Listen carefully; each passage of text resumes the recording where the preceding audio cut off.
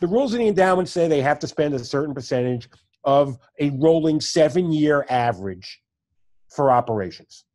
The endowment spent six, $368 million last year. They have to. The rules of the endowment say you have to spend, the rules of the endowment say they have to spend a certain percentage. So the fact that they spent 368 last year, who are you kidding? And let's continue on the bottom of slide 12. The next to last row with the total operating expenses. Let's look at 2019. 2019, U of M had $9 billion of operating expenses.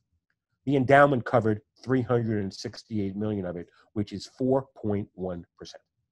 And you could see that's fairly consistent. The endowment covers about 4% of the total expenses.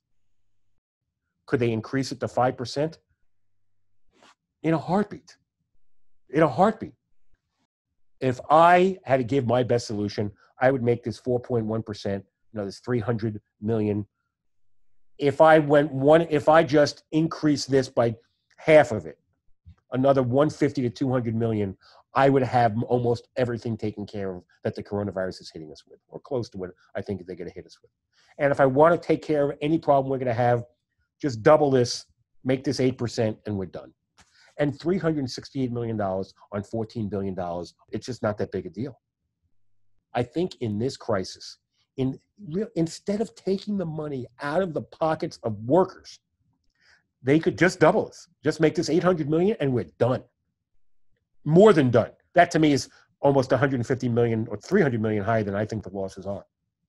But they easily have the money unrestricted in the endowment to cover whatever problems the coronavirus is having without having a furlough or a layoff to a single worker.